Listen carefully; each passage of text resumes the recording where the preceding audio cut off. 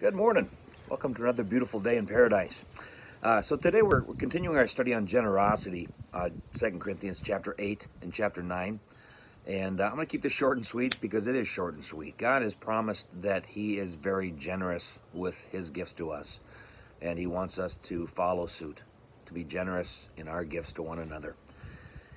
Generosity is not uh, a trait of the rich not something that God expects of those who have a lot. He expects that of those who love a lot, and that is you and I.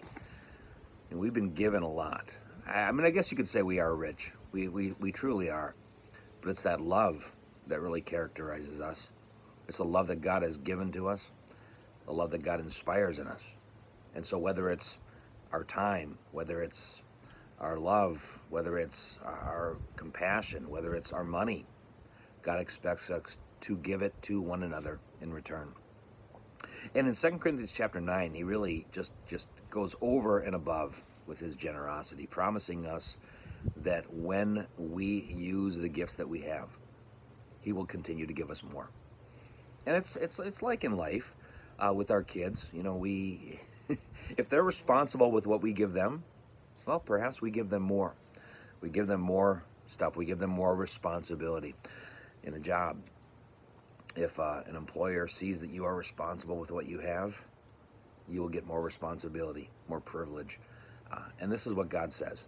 If you are abundant with your blessings, abundant with your generosity, I will make sure that you can continue to do this, God says.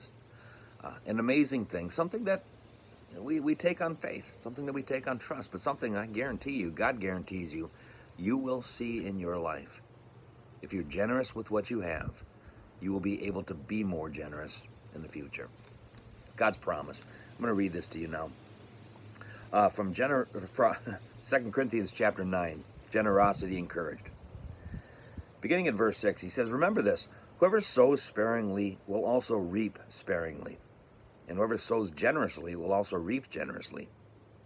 Each of you should give what you have decided in your heart to give, not reluctantly or under compulsion for God loves a cheerful giver. And God is able to bless you abundantly so that in all things, at all times, having all that you need, you will abound in every good work.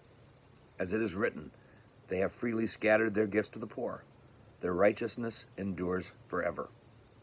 Now, he who supplies seed to the sower and bread for food will also supply and increase your store of seed and will enlarge the harvest of your righteousness.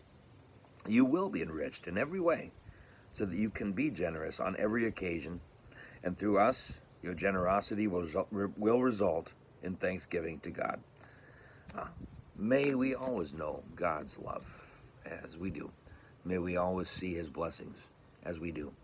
And may we respond in kind and be generous with one another. So let's pray. Father in heaven, thank you for this day. Thank you for all of the blessings that you give. Thank you for um, your abundant generosity. May we see it, may we appreciate it, and may we respond in kind. In Jesus' name we pray. Amen. God's blessings on your day.